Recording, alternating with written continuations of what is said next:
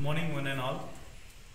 Today, D.Y. Patil College of Physiotherapy, we are giving a golden opportunity for physiotherapy students by way of YIN, that is Young Inspirators Network, which is a platform for student leadership.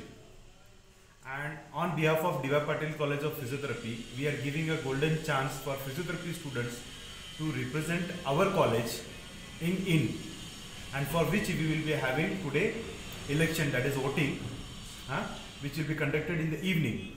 So uh, best wishes to all of my students on behalf of D.Y. Patil college of physiotherapy best of luck. Thank, Thank you you.